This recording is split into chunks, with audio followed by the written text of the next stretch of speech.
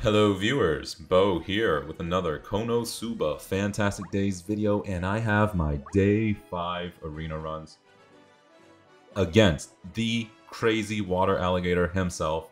And uh, if we look at the rankings here, uh, top 100 it's getting super duper close to like the 1.6 mil mark. And so basically what that is means uh, get in the top one 100 you're gonna have to post up a score of like 200k damage, which is uh, which is a lot, and it, which is honestly probably dependent on a little bit of luck, maybe a lot of bit of luck, some RNG. Maybe the boss goes dumb, forgets how to use his jaws, and just magic downs your entire physical team for the entire fight.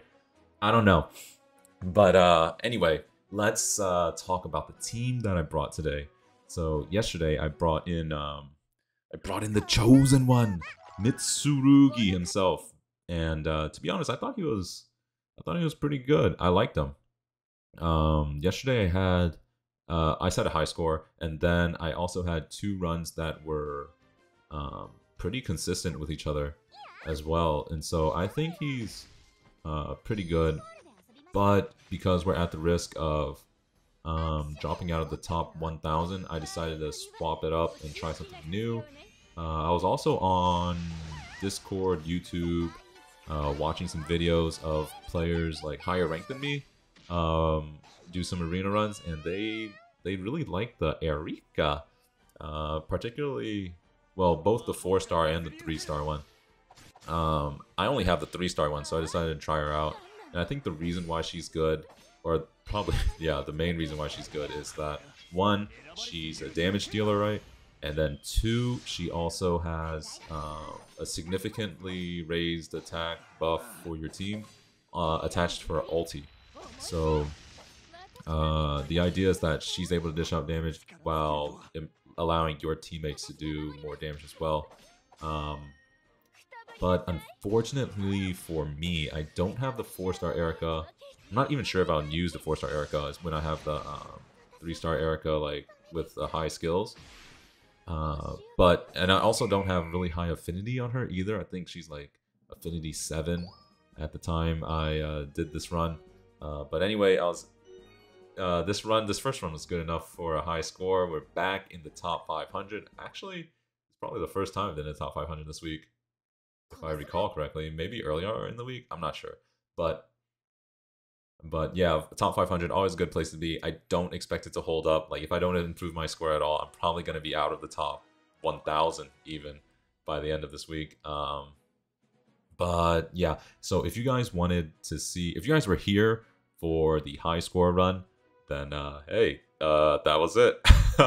uh, thanks for watching, guys. I'll see you in the next one. um, yeah, because runs two and three are a little bit more scuffed, and I don't get that juicy Melissa crit at the end. Uh, so yeah, not so good. But I decided to throw them in uh, the video anyway. I was debating on uh, just having this just the one run, um, but I figured like if you guys were here to see just the one run, then uh, you can get your one run and then you can dip. Uh, or and I posted like these extra or like these last two kind of failed runs, uh, just because they might be helpful to somebody or they want to see like how Erika does in a run that sucks, or when the boss doesn't do favorable attacks and stuff like that. So yeah, I just threw these in anyway.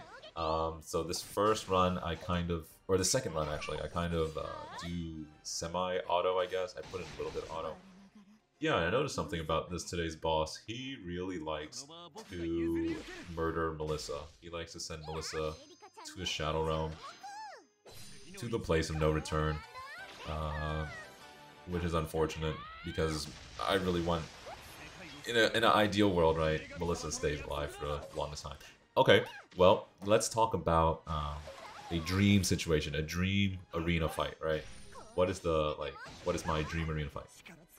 So, uh, so mobs one and two, I don't take any damage, and Erika is able to charge up her ultimate, or all three of my guys are able to charge up their ultimates right away, right? So swimsuit Aqua, the Melissa is able to charge up ultimate, and then Erika is able to charge up an ultimate. And then we go into the boss fight, uh, and Erika gets her ult off first, so she buffs uh, everybody. Then Melissa with the buff ults the boss, and now he has lower defense as well. And then Aqua comes in, and then ults the boss.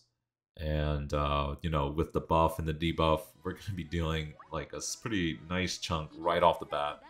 Um, getting a crit here and there, you know, much appreciated. You know, in an ideal world, every attack crits, right? But that's like, I'd win the lottery before I get that, before I get that kind of luck, right?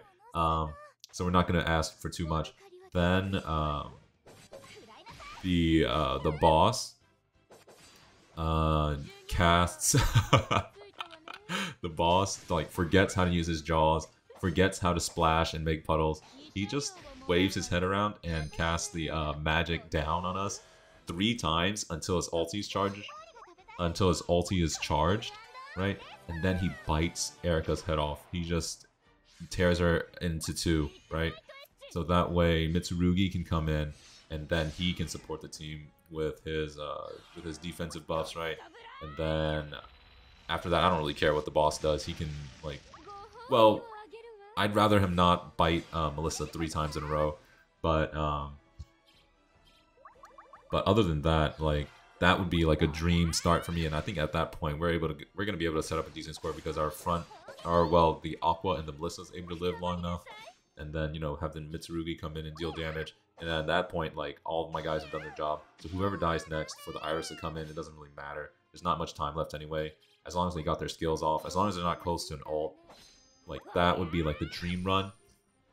Um, and then here, if you were paying attention to the video, this third run I thought was gonna be the dream run because like everything like happened uh, up until like uh, like the second half of that scenario that I just painted out. Everything like lined up. You know, the Erika ulted, then the Melissa ult, then the Aqua ult. Uh, the guy, the freaking alligator cast the magic down. Um, uh, he casts it twice, and then it, he gets blinded by Melissa, and he bites the Erika. So I'm just like, yes, yes, yes. All you have to do is ulti Erika. Please just ulti Erika. But no, he likes to murder Melissa. Today is Melissa Day. And Melissa is the first to enter the Shadow Realm. She has to be the first to enter the Shadow Realm today. Uh, so, you know, he sticks to his rules.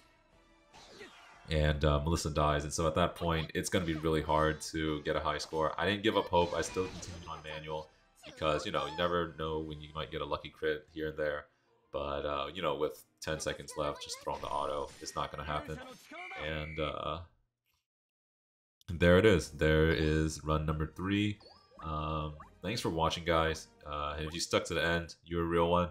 Um, I hope you guys have a better day in Arena than I did.